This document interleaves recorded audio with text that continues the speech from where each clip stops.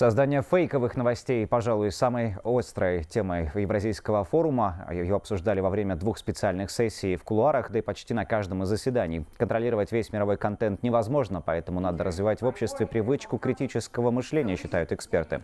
Медиапространство заполнено фильмами, выпусками передачи новостей, сообщениями в социальных сетях. И порой сложно понять, какие из них проверенная информация, какие сфальсифицированы.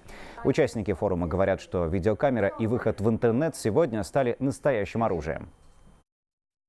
И вот это то, чем сейчас манипулируют. Манипулируют страны, манипулируют главы стран, правительства, манипулируют какие-то организации, манипулируют с целью добиться чего-то. Надо научиться фильтровать. И это должно быть и на профессиональном уровне газетчиков, и телевизионных медийщиков, и это должно быть на уровне обыденного читателя, который должен научиться отбирать и фильтровать. В конечном итоге ответственность лежит на потребителе новостей. Что я пытаюсь сделать, так это читать именно ту информацию, которую я получаю из проверенного источника, с которым я знаком. А если это новый источник, я, по крайней мере, пытаюсь проверить его подлинность, даже если это будет то, с чем я не согласен.